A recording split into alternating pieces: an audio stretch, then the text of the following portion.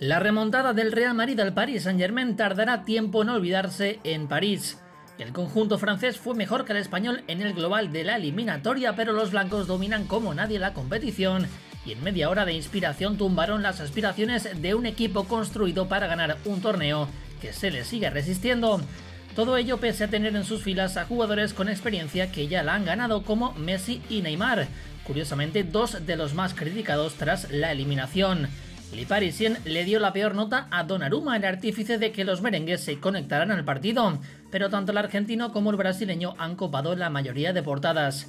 A Neymar incluso lo han llamado idiota, mientras que de Messi se dice en líneas generales que no estuvo a la altura.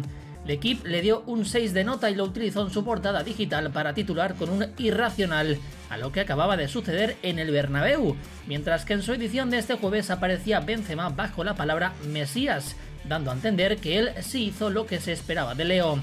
RMC Sports no calificó a Messi pero afirmó que el PSG había sido un fiasco, mientras que Le Parisien le puso un 4. Todavía no es la mejor versión de un 7 veces balón de oro, rezaba el rotativo.